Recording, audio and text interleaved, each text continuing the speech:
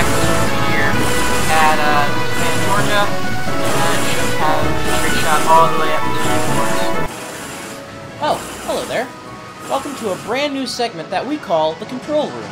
This is where we'll be giving you short histories and cool facts about certain aspects of railroading. Before we begin, however, I just received this telegram from my dispatcher. Let's see.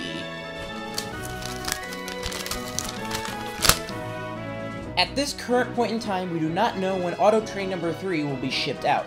However, we do hope to have it done by at least the end of the month, possibly the 28th or 29th. Well, that's some sound news. Let's hope all goes well. In the meantime, how about I share with you some interesting history with today's topic? Today, I'd like to discuss the evolution of the auto train's consists. Ah, here it comes now, right on time.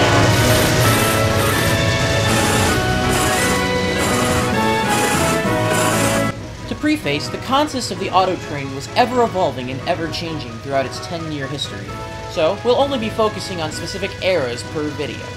We'll be discussing the early consists this time, specifically between the years 1971 and early 1972. When the first auto train ran on December 6, 1971, the consist was only 13 cars long at the time, most of them having been refurbished by Pullman Standard, with the exception of two cars at the rear. However, I'd like to save the first train for another time.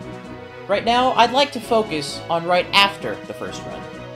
With the success of the first train, the consists would of course grow to meet the demand of these passengers wanting to ride and take their cars with them. There are very few photographs taken of these consists in the early months of operation, that the consist would be arranged by section. First, you had the auto carriers. At the time, these would always be at the front of the train. Next up would be the coach section. These comprised of former Santa Fe big domes, now known as full domes under Autotrain. There were three different types of full dome cars. You had the full dome coach, with coach seating on the upper level and a lounge area on the lower level. There was also the full dome dormitory. There was coach seating on the upper level, like the full dome coach, however the lower levels were occupied by a nurse's station and berths for the crews to sleep, hence the name crew dormitory. It should be noted at this time, only the men would sleep in the crew dormitories in the dome cars. And the final full dome variant, the nightclub car. Only two of the full domes were configured this way, both with unique dark blue theme to them. This is where you would find your entertainment and your other nightclub features. This car would also be where the fully stocked bar would be located. Usually, every consist would have a conglomerate of all three types. Next up, you would have the food service section. In the beginning, Autotrain started out with five sets of twin unit diners. It is believed, at the time of recording this, only five cars in total were ready for the first months. The food service section will comprise of both a movie buffet car and a kitchen dormitory car. The movie buffet car is where the passengers would sit down and eat after selecting their food from the steam tables on the buffet line, and afterwards, a movie would be played on the special TV screens. The kitchen dormitory cars served two functions on Autotrain. The first function being used as storage for the pre-prepped meals made by the Marriott Corporation. When being refurbished by Pullman Standard, the kitchens had their kitchen equipment removed and instead replaced with big steel refrigerators. The second function of the kitchen dormitory cars was to act as crew compartments for the hostesses of the train. At the time, the men and women train crew were separated this way.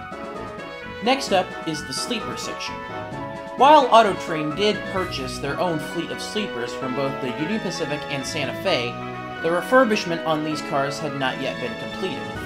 To compensate for this, Autotrain leased five 11 double bedroom sleepers from Union Pacific until the interior renovations could be completed on their own sleeper fleet. For a time, those sleepers ran on their previous owner's paintwork, but that's for the next episode.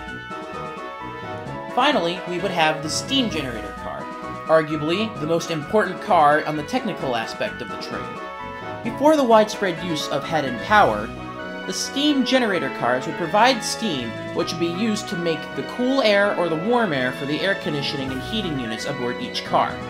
This was accomplished by a long network of pipe and hoses on the underside of the cars, called the train line system.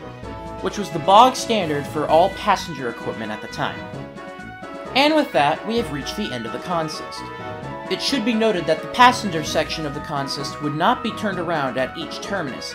Instead, the auto carriers would just be shuffled to whichever end of the train would be leading, whether it be the sleeper section for the northbound runs or the coach section for the southbound runs. We'll let the entire train run past the camera so you get an idea of the consist in full. I want to thank you for watching this video.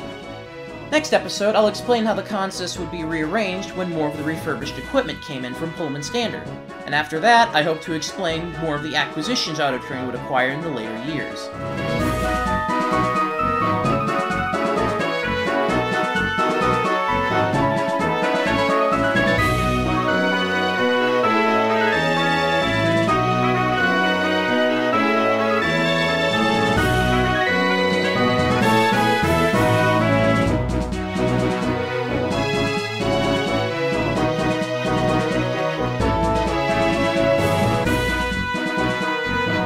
Second function was to act as